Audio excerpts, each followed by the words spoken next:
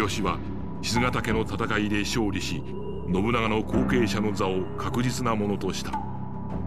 これに対し信長の次男信雄は三河の徳川家康と結び結果秀吉家康の両者は対立を深めた。かくて両軍は小牧長久手に土塁を築き睨み合いが始まる。家康との戦いは避けられない。秀吉は皆が笑って暮らせる世を作るためかつての戦友家康と戦う決意を固めた。ねねもまた愛する秀吉のため小牧長久手の戦場に立った。天下は私が支えるよ。私はお前様の妻だもん。第4話小牧長久手の戦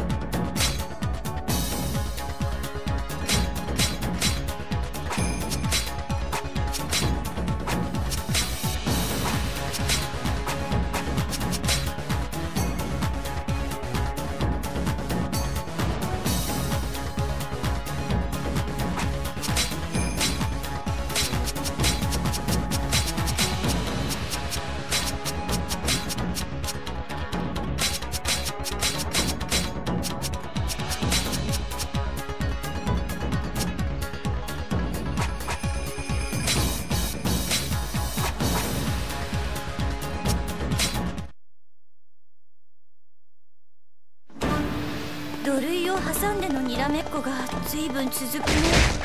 互いに相手の強さを知っとるで。ガチ動けんのさ。先んずれば人を制す。家康殿先手取らしてもらう。敵陣中央を突破して小牧山城への進軍を私は忍びだもんうちの人のためだもん砦に潜入しを倒して元の悪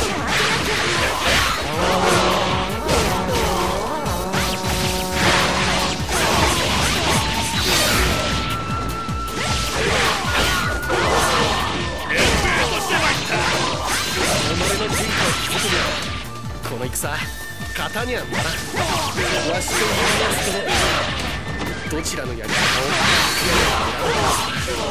きっとお前さんの方だよ天はとにかく私がそっちだからねさあい？くねの岡崎城の目の前にデーンと陣取って家康殿に揺さぶりをかけ敵を分断しちゃるんさ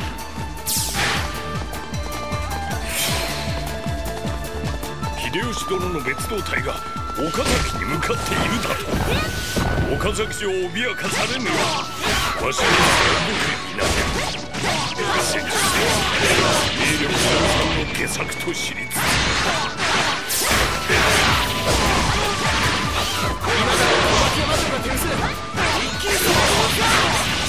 小牧山城さえ取ってまえばこの戦勝ちや総理条件変更この空気いかに出すかこの上登れる場所を探さないとね。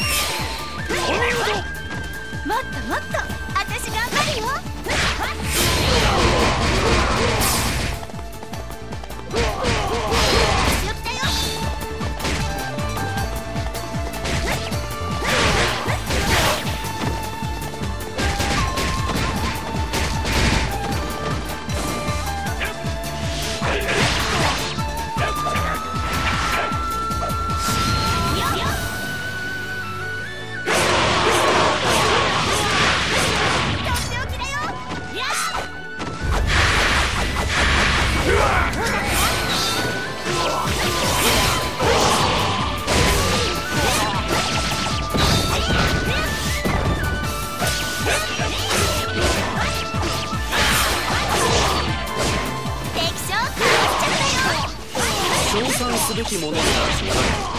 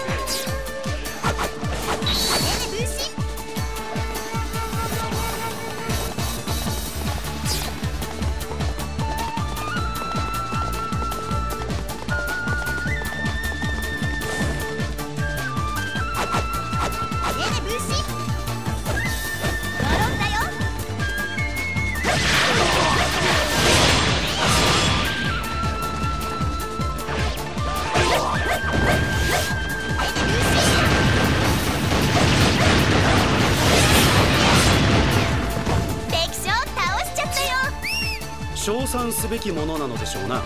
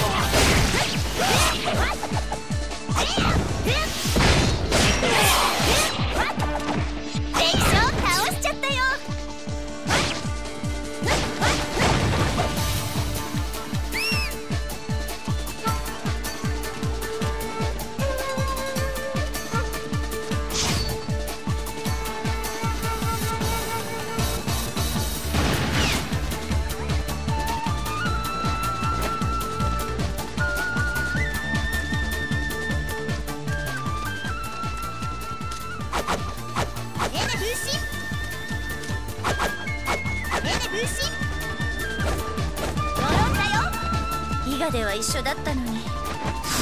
なんだか悲しい感情忍にしたい。そうかもしれないけど。でも私は嫌だ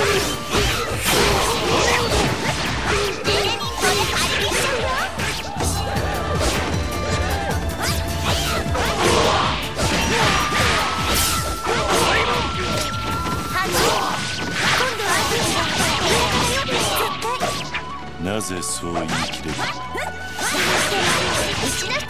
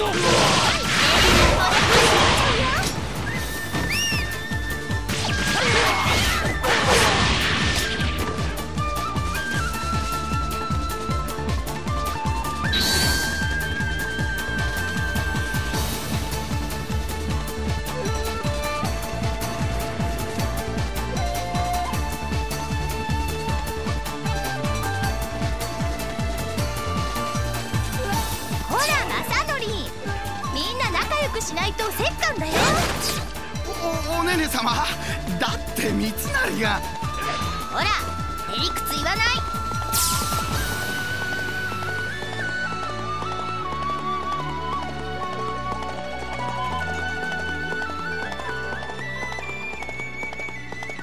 清正みんな仲良くしないとダメだよ。おねね様の仰せなほら私が言わなくても仲良くなさい。三成みんなと仲良くしないとお仕置きだよなんだかんだで力ずくですよね。ほらへりくつ言わない？ねね分身？みんなだよ？分かってくれたみたいだね。さあ小牧山城への道を開くよ。開門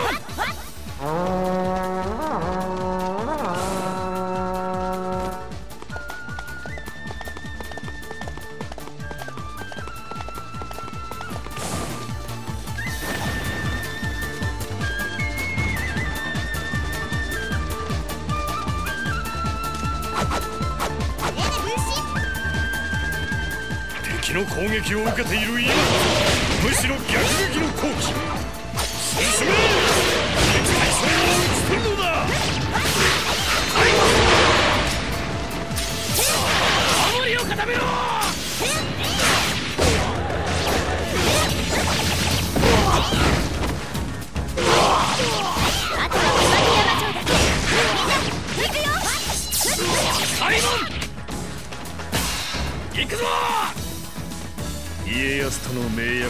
光秀の思いが秀吉の天下を阻む。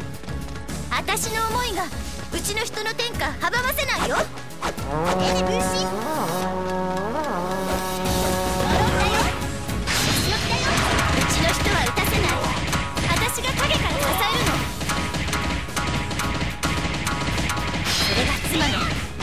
忍びの私の覚悟だよ。声なき影の覚悟誠実に示してもらおう。誠実に上等だよ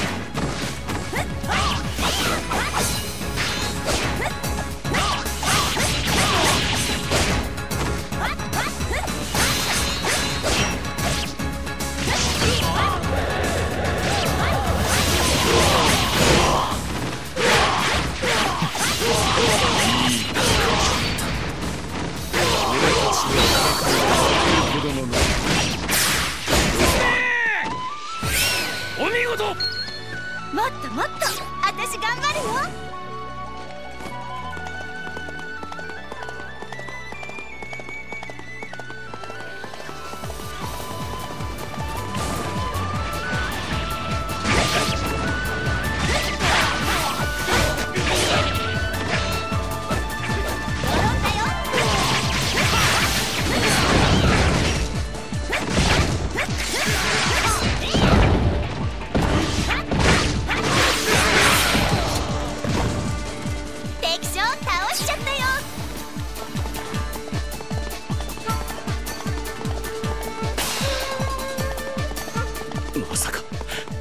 の俺が敵を見誤るはずなど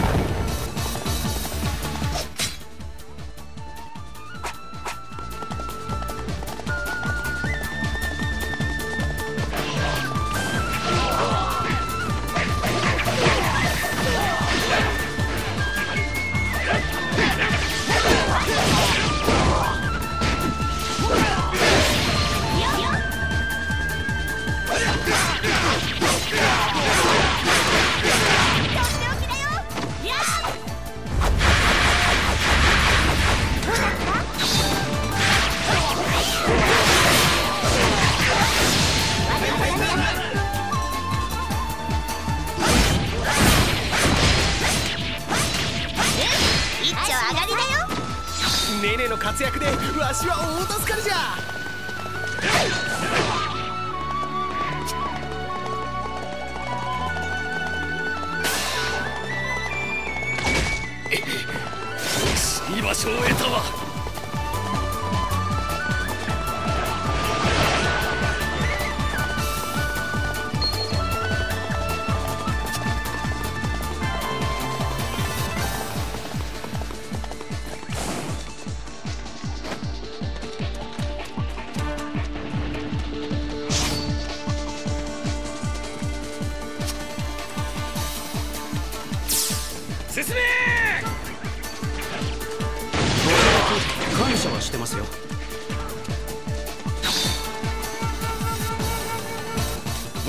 自ら猿の首取ってくれる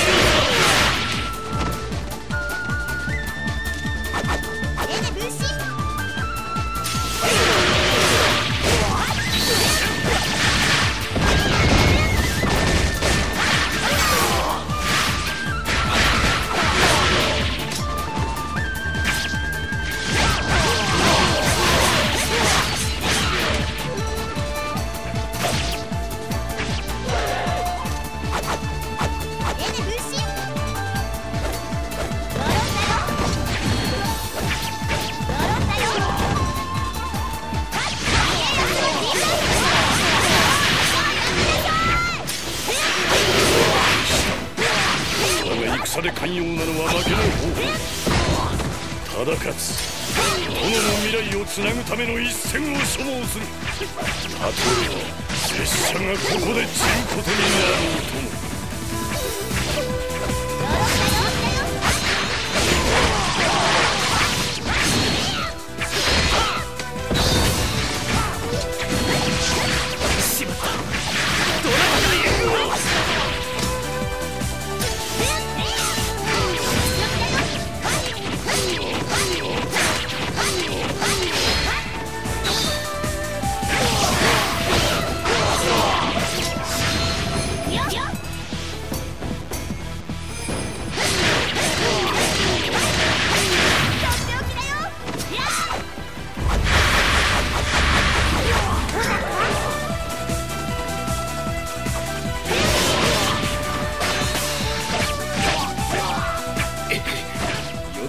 場所を得たわ